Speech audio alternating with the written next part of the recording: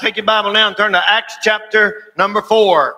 The book of Acts chapter number four. Quickly this evening, very, very, very, very brief here this evening. We've got a lot to do tonight.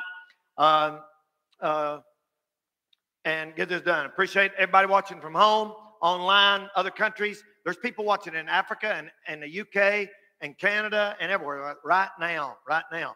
So if you're running from the cops, don't turn around and let that camera see you. The live will come in here and get you tonight. We need you there this week. uh, Acts chapter number four. Uh, all you refugees, hang with us for a few days before you have to go off to the big house. All right. Acts chapter four. Acts chapter number four. And look here at verse number 31. Acts chapter 4, verse 31. This is what we want to see. And when they had prayed, see that?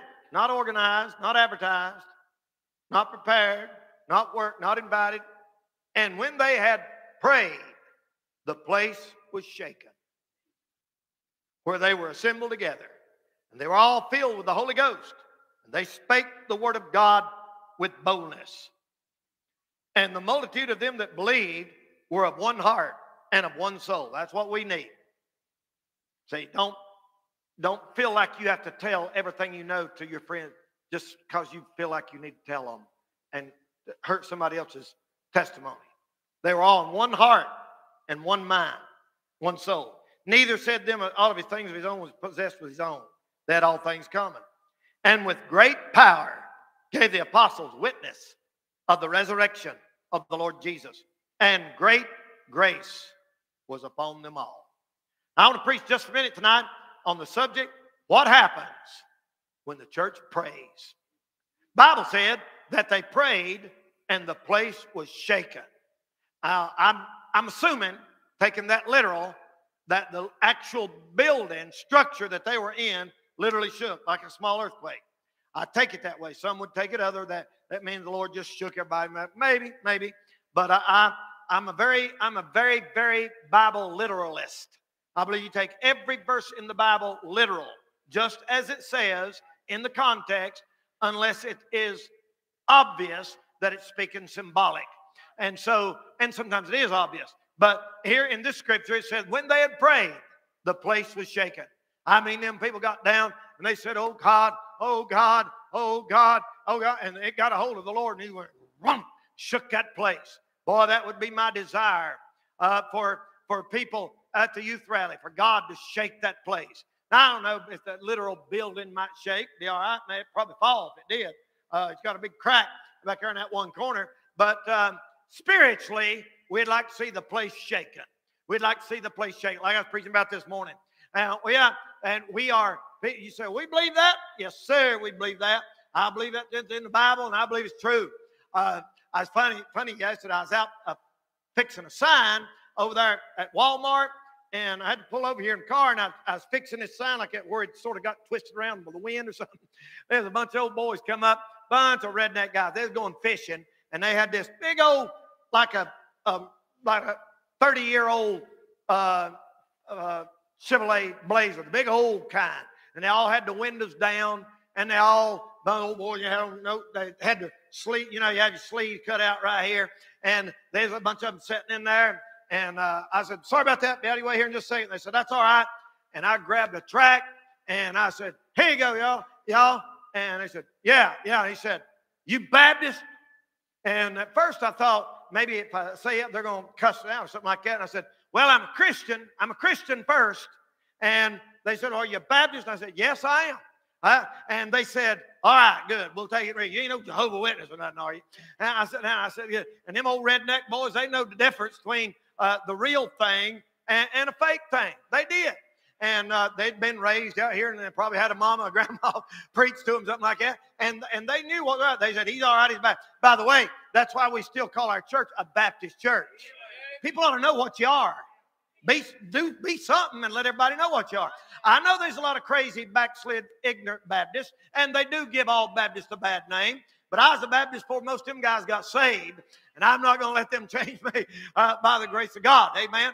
I'm a Baptist because of our Baptist forefathers and our history and the Baptist.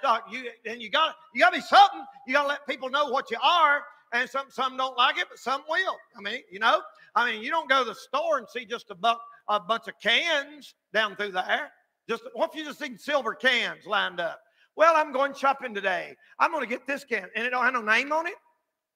Dog food, pinto beans, or, or, what? You don't know what it is. And so uh, you, you put on pinto beans.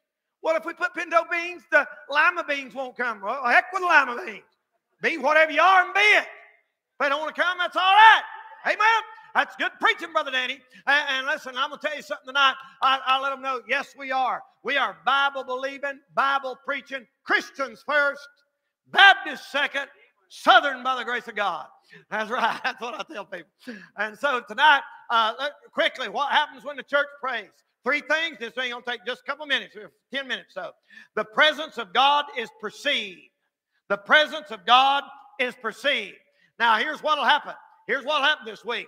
Some of you will get the idea because the Lord moved in here this morning. If you did not see the service this morning, you missed a very, very unusual service. I mean, the power of God fell right in the middle of it this morning. Go back and watch it.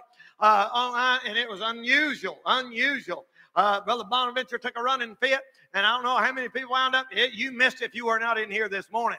And uh, uh, sometimes we get like that. We say, "Woo! Well, we got the victory. The Lord's going to bless. My goodness, hallelujah." Uh, we're, we're but you know something? Right now, while I'm standing here and you're sitting there, the devil is plotting. Right now, he's out there tonight. He's like a snake, buddy. About the time you think he ain't gone, uh, me and me and Frankie's mowing grass the other day. Where's he at? Oh, he moves every time. Stand up, Booba. Uh, so me and him was mowing grass the other day, and uh, put, he likes to sit on my, uh, my, my knees right here and help me mow my big mower. And we was mowing the grass, and uh, he begs to drive. Daddy, can I drive? And I get a big, and he goes, zero turn on just goes around and around and around. He can drive it. Uh, but uh, anyway, we me and him was mowing grass, coming around the front yard. And I was just singing, Glory to God, it's good to be saved. Isn't it great to be saved? Right in front of my house. And he jumped off, went out, and all of a sudden, poof, there's a snake that long and that thick run right up in the lawnmower. And I, oh, I can't you. You know how you do when you see a snake? And I thought, Lord, have mercy. And and the and the Lord said, just because you think the devil's defeated, don't underestimate him. He's right now. He's hiding. He's hiding over there somewhere. He's hiding under your bed. he's hiding in the closet. Not maybe, literally. Uh, he's hiding. And then, then we came around the back, back of the house, where uh, back where the swimming pool is, and there was a nothing. Big long, and that thing was that long. Uh, there's black snakes, and so you know, I won't kill you. I So Frankie, I said, I'll bite you, make you really sick. Uh, and so, uh, and it's like the Lord says, Right now, when you think everything's going good, you think everything's fine, you think everything's great, right now, that old serpent, that old wicked Satan is out there plotting some. The devil's got a plan for everybody's life in here. All you teenagers in here, you know the devil has a plan for your life. He'll, he'll turn you into a, a, a drug addict and, and a suicide, and ruin you know, but God has a plan for your life. And he'll turn you into a happily married person one day with a good life and a good church. It just depends on you. The devil's voting against you, God's voting for you. You got the deciding vote which way your life's going to go. And that's very important. And so uh, uh, the, the presence of God is perceived. You know, uh, I, uh, I heard old uh, CT t- tell him about this old preacher he knew up in West Virginia. And it's, it's not an isolated story. A lot of them old preachers in West Virginia had no education, none. My daddy did. My daddy grew up in West Virginia and didn't have he didn't have a mama. His mama died when he was a baby and or a little four or five years old. And um, daddy's my daddy's daddy, Papa Castle, was who knows where, bootlegging and and uh, run all over them mountains up there. Well, that left I think 11 kids in a little old house with nobody to raise them, and some of them was grown and they raised the, the younger ones. And that, that my daddy come out. Daddy had it rough. Daddy had it rough. They was raised like animals, and and they're, they're a lot like animals. They're real like a dog, real tough, eat anything, sleep out in snow and everything else. And uh, uh, I, my daddy told mom, he, he said he had stood outside people's house, just like a dog comes to your house, hoping you'll throw something out. He said, I've stood outside of people's house before wishing they had asked me to come in and eat.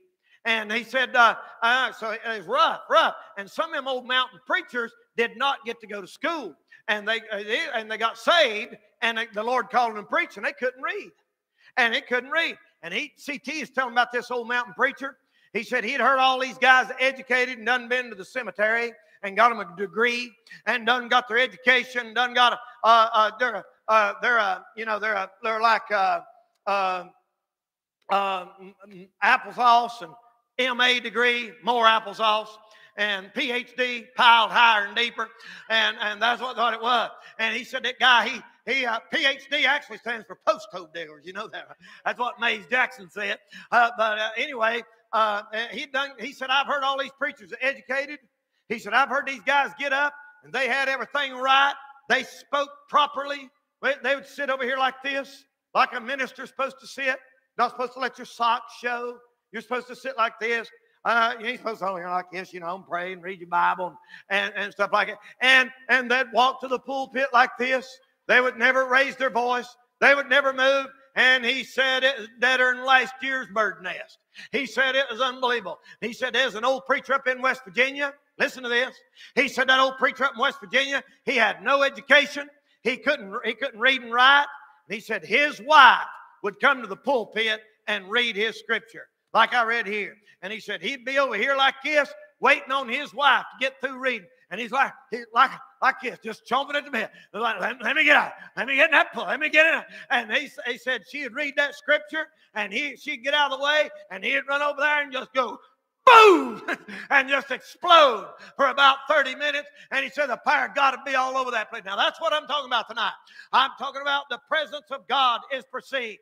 Our generation of preachers think, boy, if I can go to this college or I can go to this degree and get there, there. Now, look, I'm not knocking education, but if you think that's a substitute for the power of God, you're way off base, buddy. I'm going to tell you what, I tell you what we need to do is church needs to pray. Church needs to pray. We need to get out in the bushes somewhere, out in the woods somewhere this week Get up early before the kids get up. Stay up after they go to bed and get down and say, God, shake that place. God, shake that place. You know, like Paul and Silas did in that jail in Acts chapter 16. They were in jail and they were down in there praying and they were praying. And the Bible said God shook that jail. What about that? And the doors flung open. And the rock, they said, uh, they said uh, Paul and Silas sung the jailhouse rock before Elvis ever got off his baby formula. But I'm telling you something here. I mean, they sung and God shook that place. God shook that place. Ladies and gentlemen, He shook it. That's what we need. We need to be in unity. We need to be in one accord. If, and, and let me tell you something about the power of God.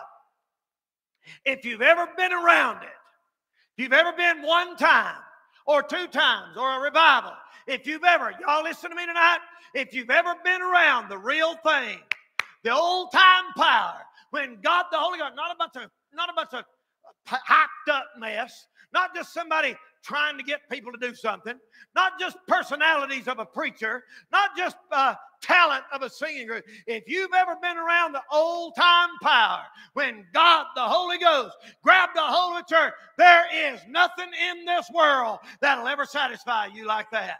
There's nothing like it. There ain't nothing like it. There's nothing like old time power of God moving in the church. There ain't nothing like it. And I said this morning, church the best thing in the world when it's real. It's the most boring thing in the world when it ain't, too. Uh, it's the best, best thing in the world when it is. People know it. People know it. I'll tell you something else. They never forget it. Once in a while, I'll get a phone call. It'll be from some who was a teenager back in the 80s and 90s, and they're in the 40s now. And and they'll say, Brother Danny, you remember me? I said, Yeah, I think I do. And they say this I got a letter at home right now. I'll let Kelly, I wish all y'all could read it. I got in the mail yesterday. You wouldn't believe it. And uh, this teenager would say, Brother Danny, I'll never forget when we went to camp. And I'll never forget what happened out there and what God done for me. All these years later, I've strayed, I've got off track, I've gotten a mess, but I've never, ever forgot what God did for me that night. That's what we need. Not an emotional stir, the power of God. The power of God is received. The purpose of God is achieved. Amen. Amen. You know what we needed here tonight? We need some young people and mamas and daddies that are willing to lead a clean life. A clean life. Now, what do I mean by a clean life? That means we, we get our heart clean. It would bother us any kind of off color, any kind of, of, of, of sexual innuendo jokes or little stuff that people talk about all the time. If, if people joke about that, uh, it's because deep, deep down inside they want to take another step forward. But I to tell you tonight, we need some people with a clean heart. Clean heart. You say, Brother Danny, it's impossible to keep a clean heart in our generation. Well, it, it's nigh impossible, but it ain't impossible. It's close, but it ain't impossible. You can walk right, you can live right, you can act right, you can spit white. That's right, brother. You can live a clean life if you'll if you'll really dedicate your life to the Lord here tonight. People know it. There's great power. There's conviction. I talked about this this morning when I got saved. You know what got a hold of me? Conviction. I got saved before the preacher ever even preached. Now I had heard preaching. I'd heard the word of God. It was in me, or I'd heard it, but I got saved before there was any preaching. And the singing, I don't even remember a word they sung, but the Spirit of God got a hold of me. Will you help me do that this week? I'm going to hush in just a minute. Will you help me this week say, Lord, when we pray, may the place be shaken. The power of God is received. The presence of God is perceived. And the purpose of God is achieved. I used to know an old boy up in Marion years ago. And uh, his name's Kenneth Angel. Old Kenneth's probably dead and gone now. I don't know if anybody in here would remember him. Probably not. Maybe Carrie, maybe. I doubt it. We used, we used to go street preaching when she was just like five years old and uh, or six years old. We used to go street preaching every Saturday. Before I ever started the bus ministry and stuff, we went street preaching every Saturday. I mean, like clockwork. We'd go to Asheville. We'd go there to flea market Marion. And old Kenneth, he'd come down from Burnsville and he'd come down uh, just, he's just an old country boy, probably never even went to the ninth grade and uh, he couldn't he couldn't talk plain. He I'm not not making fun of him. He he couldn't talk plain. Uh, honestly, when he preached, you couldn't hardly understand a word he said. He he preached like this. He go That's what it sounded like. Sound like Hitler. You know, them giving one of them speeches. You know, you ever heard like that. But I mean, but I'm telling you what, buddy, when that old guy started preaching, it, it's like you get scared. What was that? It's like, oh my goodness. It's, like the power. It, it, I can't even understand what he's saying. I've seen churches, services, lots of times where the power of God would move in. Somebody be up over here just a preaching up a storm. Somebody be over here walking down the aisle preaching. Somebody, the preacher be up here. He couldn't even keep his stuff together. Had two or three preaching going on at the same time. You say, wasn't that confusion? No. It was just all right. They was enjoying it over there. We enjoyed it over here. I was enjoying all of it. Lord, there's times when, uh, like Hallelujah Howard, he preached harder than the preacher. I didn't know who to give love offering to when it was over. who preached tonight? Uh, but let me tell you something, people. That's all we need. Old time power. And let me say one thing to ladies, and I'm done. Lady, I hear it once in a while. Uh, some of you, Brother Danny, Brother Danny, I just remember back in the old days when and the old them old ladies shouted and they praised God and they jumped up and they throw their hands, you know, and everything. What's happened, Brother Danny? What's happened? I'll tell you what's happened. They're all dead. And now you are the old ladies. Now you tell me what's happened. Something has. All them old women's gone. Brother, I've seen. Remember Miss Opal up there? Son, she'd jump up and start slinging them hands like that. And it's like, whoa, boy. People start hitting the altar, getting right with God. Miss Barker, some of them, uh, remember Miss Miss uh, Henderson, is it Henderson or Henson uh, that just went home to be the Lord? The lady down there in Alabama heard her daughter sing. Is it Henson or Hen? Henson? Uh, look them up on the online, the Henson. And the preacher called on them to sing. No big speakers, no drums, no, no amplifiers, no guitars, nothing. Walk up there in an old print dress, looks like your grandma wore, and they'd stand right here, and her daughter's right here, and she'd say, There's not a friend like the lowly Jesus. No, not one. And someone go, moving that church. People start saying, no, not no, no music. Boy, if we could get that famous quartet. No, uh-uh, uh-uh. Hey, we're going to have some hillbillies Friday night I want y'all to meet. Real, ain't a skit. It's for real. and and, and uh, you, you'll like them. Old time. You say, why would you have some old hillbilly redneck for a youth rally? Because the youth need to hear that. Need reach back yonder in the last generation and, and find out what have made them old people shout. So, all you younger ladies in here tonight, 50 and younger, all you old 40 year old women, it's your turn to shout. Amen. Now grandma's backslid. She can't shout her bobby pins down. She ain't got no hair to put bobby pins in. She, she can't, uh, uh, her, her, she don't have to worry about her makeup. She have none on. Mean, she, ain't, she can't, she can't, uh, uh, uh, listen, brother, grandma's at home watching Netflix, backslid on the couch, and, and we're wondering where the power of God went. I tell you, that, that them old people had something because they spent time with the Lord. Right? That's right. I've seen it over and over and over and over and over. I used to preach up in them little country churches. Uh, come on, Keanu. I used to preach up in them little country churches. And I, you've heard me tell it. I learned a lot as a young preacher traveling in the mountains. Burnsville, Bakersville, Asheville, North Wilkesboro, Boone, on up into Virginia. I learned a lot. And I'd go in there in the first night and I'd sit down. I was about 20, 20, 20 years old, 21, 22 years old. And I'd sit there like this. And they'd say, Now we have this young man from Marion is going to come and preach for us. The choir would come out and sing. This way long time ago. And them old ladies would come out there. There'd be about, be about six old farmers up here on the top row of the choir. Had farm, and they literally, literally wore overalls and white shirts. But I mean, they's clean. You'd see yourself in them brogans and them shoes they wore. They shiny, and they had them white shirts pressed and over. That was their Sunday go to me. That's the best clothes they had. Way up yonder in the mountains, a pigeon roost, upper roost, lower roost. I preached up in there. Uh, it's real places. Those are real places. And you can go up there, it's right above Spruce Pine, and uh, and uh, they'd get their songbook and they'd sing. I once was lost in sin, but Jesus took me in. Choir leader so backward that he wouldn't even look a congregation in the face. That's how shot backward. That's what mom would call it. Then a little light from heaven filled my soul. It bathed my heart. That's exactly the way he did. He's leading this scene right here tonight and wrote my name above. And just a little talk with Jesus made me whole like that. And I thought, oh, that's good. That's good, you know. And all of a sudden, the doors flung open over here. And there's an old sister come out of there, had her hair put back in a little bun. I remember old Church of God hairdos looked like a hornet's nest on the back of her head. And and they she'd come out like that and have her Bible under her arm like that, her dress belt down to here, and she'd come out of that room like that and just going, whoo! And there's about six or seven look just like her right behind her. I ain't kidding. I've seen them lay, they'd go up there and march up there in the front row of that choir, and he'd say, Next verse, I may have doubts and fear, my eyes be. And something changed in that room. The atmosphere changed.